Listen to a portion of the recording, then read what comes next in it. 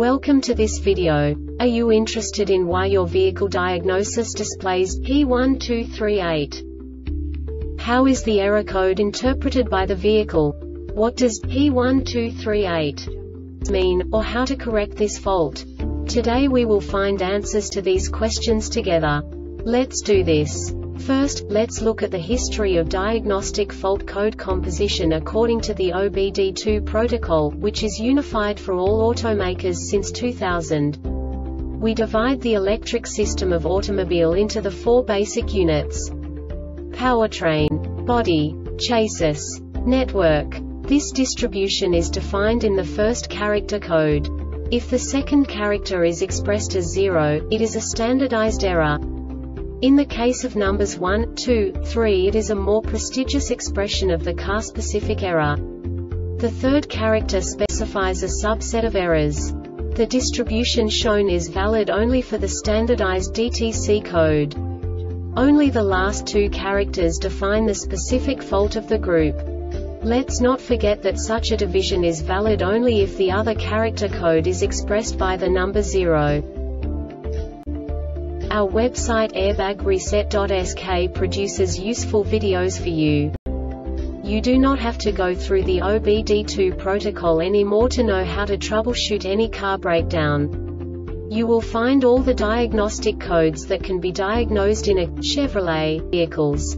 Also many other useful things. The following demonstration will help you look into the world of software for car control units. You unbelievably can move the video a bit further. The error code is split into two bytes consisting of 16 bits. One bit is the basic unit that each computer works with. The bit has two logical states.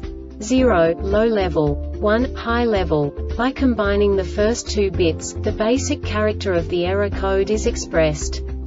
The next two bits again determine the second character. The last beat styles of the first byte define the third character of the code. The second byte is composed of a combination of 8 bits. The first 4 bits determine the fourth character of the code. And the combination of the last 4 bits defines the fifth character. A single byte conceals 256 possible combinations.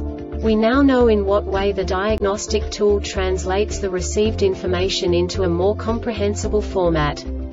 The number itself does not make sense to us if we cannot assign information about it to what it actually expresses.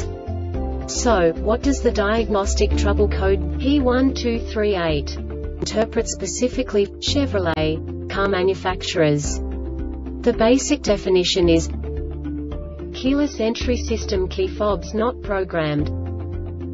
And now this is a short description of this DTC code. The keyless entry system must be enabled. This diagnostic error occurs most often in these cases. The DTC is set if there are no keyless entry transmitter programmed to the RCDLR. The Airbag Reset website aims to provide information in 52 languages. Thank you for your attention and stay tuned for the next video.